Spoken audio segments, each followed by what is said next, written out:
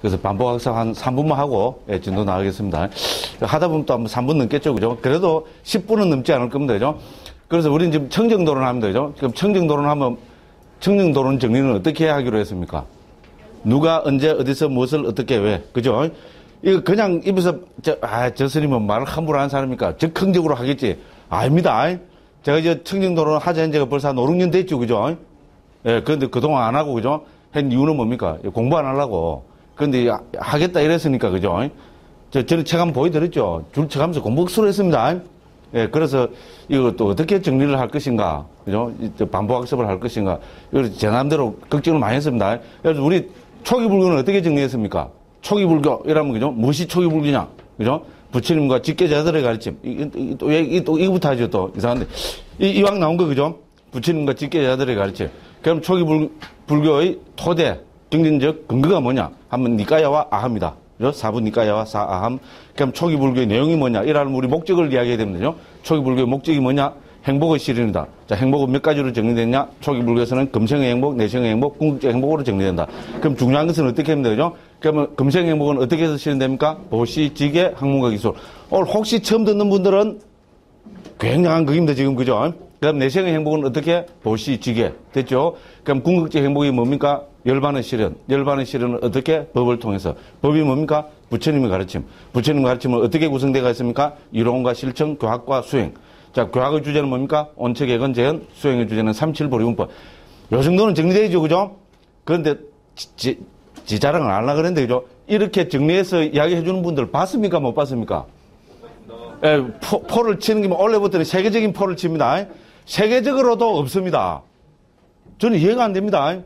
세계적으로 제보다 뛰어, 백배, 천배, 만배 뛰어난 불교학자들, 큰 선생님들이 수두룩백배한데 왜 초기 불교 이래, 이래 정리를 못 해줄까요? 저도 모르겠습니다. 그죠? 근데 포를 치, 치는데, 그죠? 세계에서 처음입니다. 근데 사실 초기 불교를 정리해갖고 뭡니까? 옆에 살을 따다다닥 붙이면 어떻게 됩니까? 멋진 초기 불교 뼈대가 딱 돼서 정리가 돼버립니다. 그래서 온척의건전 삼칠보리문법, 이야, 이거 구체적으로 알려면 어떻게 해야 됩니까? 제가 쓴 초기 불교 예를 보십시오.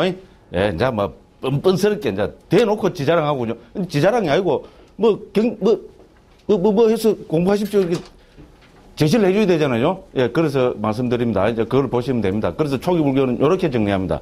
자, 그러면은 우리 이제 청정도로는 어떻게 정리합니까? 예, 그래서 제 나름대로 고심을 많이 해서 딱 나온 겁니다. 누가 언제 어디서 무엇을 어떻게 왜 됐습니다. 그죠? 청정도로는 누가 썼습니까? 누가 지었습니까?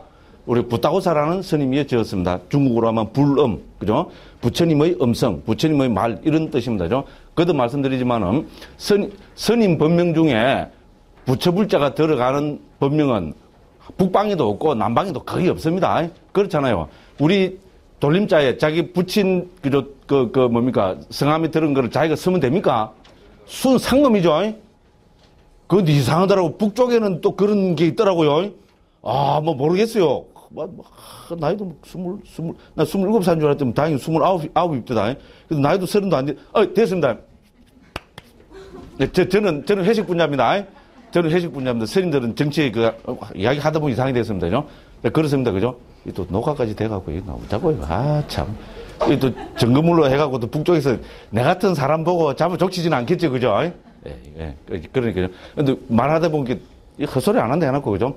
그렇습니다. 그래서, 그런데도 불구하고, 그죠? 법명에 부따고사라고, 그죠? 부처님이라는 이름이 들어가는 경우는, 이, 그럼, 뭐 때문에 그렇게 했습니까? 그만큼 남방에서도 이 부따고사라는 스님은 부처님의 버금가는 분이다.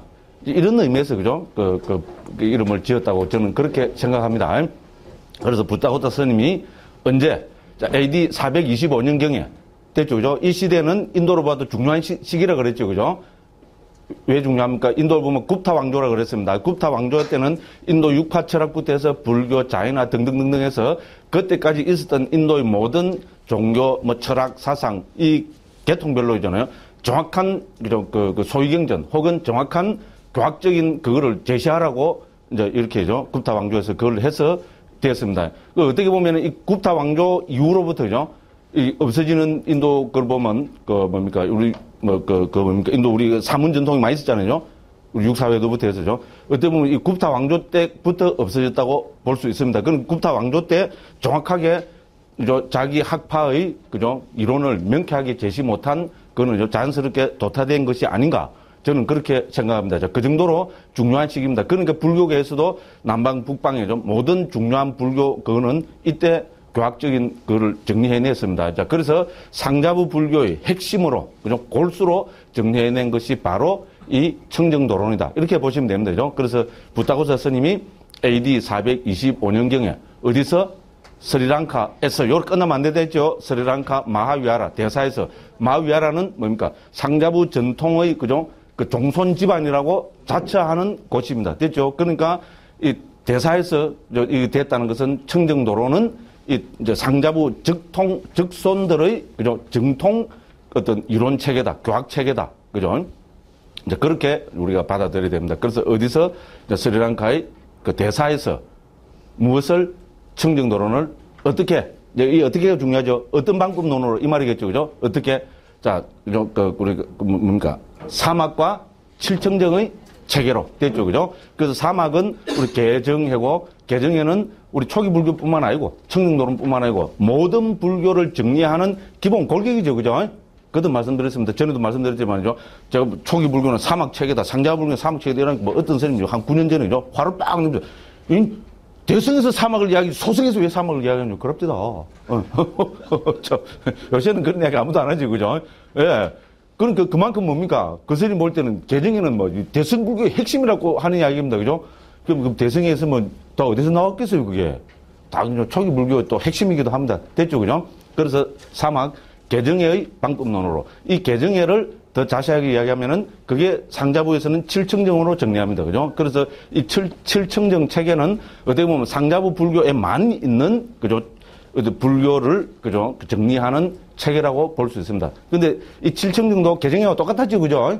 잘 알고 있습니다. 처음에 우리 그죠? 개청정은 바로 개학하고 같습니다. 그 마음청정은 뭐하고 같습니까? 우리 그죠? 두 번째 삼매하고 같습니다. 자, 해학을 우리 저 통찰지 해학을 반야를 여기서는 5층정으로 정리한 체계입니다. 자, 이거 보면 뭐, 뭐 무슨 말입니까? 자, 상자부는 7층정 체계는 개정의 가운데 해학을 중시한다 이거죠, 그죠? 해학을 5층정으로 더 자세하게 그 세밀하게 그 언급하고 있는 책입니다. 그리고 우리 좀 이따 보 이미 봤습니다만은요. 청정도론에서 부처님의 그죠? 그 뭡니까? 응kim경에서 부처님이 이것이 그죠? 이렇게 해서 엉킴을 풀고 열반을 신한다 했는 거기 나오는 게 개정의 사막이었잖아요. 그래서 그걸 인용했습니다만은 우리 지난번에 봤습니다만은 이 조그마한 개송의 통찰지 혹은 그죠? 지혜 혹은 반야에 관한 것이 무려 세 번이나 나왔습니다. 됐죠? 그만큼 상자부 불교도 해학을 중시한다 이 말입니다. 됐죠? 그러니까 청정도 7청정 중에서 5청정은 해학에 관계되는 겁니다.